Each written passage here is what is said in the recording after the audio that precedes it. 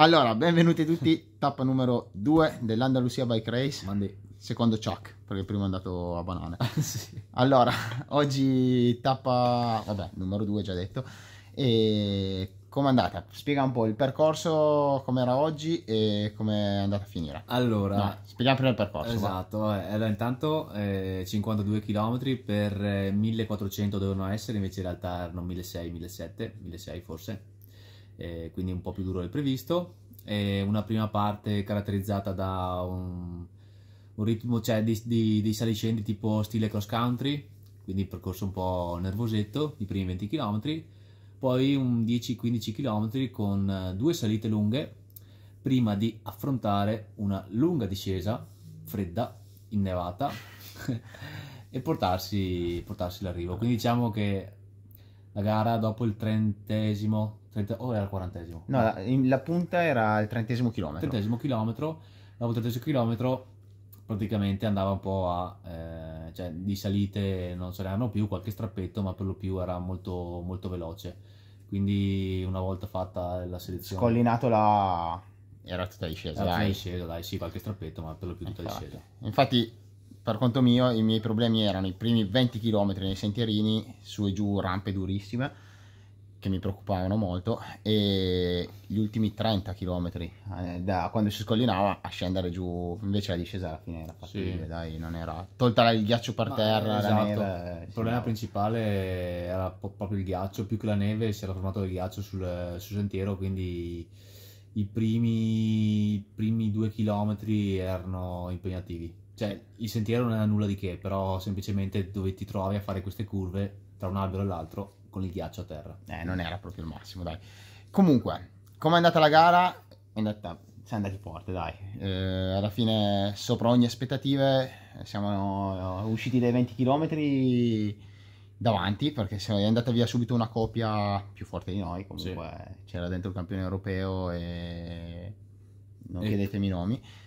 Chi erano? Ehm, Fabian Rabesteiner e Wout Allemann. Ok, comunque due forti e che andavano più forte, boh, sono andati presi, andati via subito e ciao, non li abbiamo più visti. Dietro invece si è formato un gruppetto inseguitore, eravamo tipo, era sei coppie a inseguire Sì, sei coppie. Sì. e continuava a rompersi sto gruppo e tutto e noi alla fine eravamo sempre, Eravamo nella- sempre lì, sì. sempre nei primi Sempre davanti, davanti, così avevamo trovato un bel passo sia in salita che nel tecnico, non, non andavamo male oggi, No. eravamo in sintonia oggi. Ecco.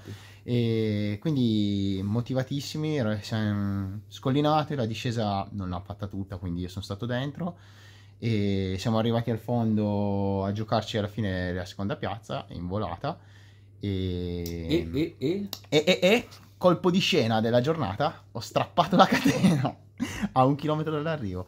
Ma perché?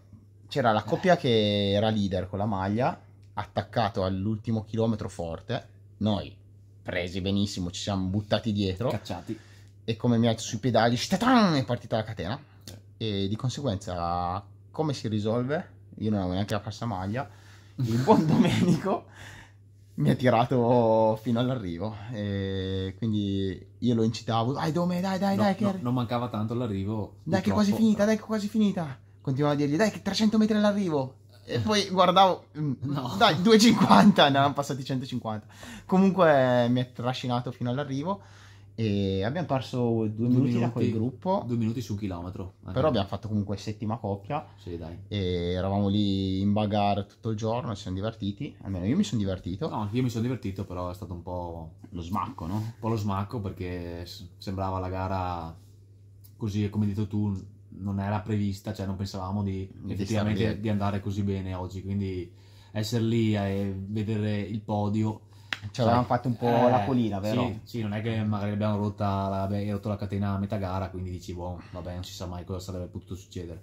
Eravamo lì a un chilometro dall'arrivo, eh, dopo... Vabbè, Vabbè, così, dai. è andata Tra l'altro Comunque- la volata è andata anche un po' strana, quindi secondo Eh. me con un po' di, di fortuna, non si può dire l'altro, ce la giocavamo, eh, secondo me. Vabbè, dai. Comunque, eh, tappa 1 ruota, tappa 2 catena. E domani cosa, cosa rompiamo? Eh, Vabbè, dai. Domani lo facciamo decidere a- ai tuoi fans. commentate su cosa si romperà domani, parte un sondaggio, vediamo chi vince.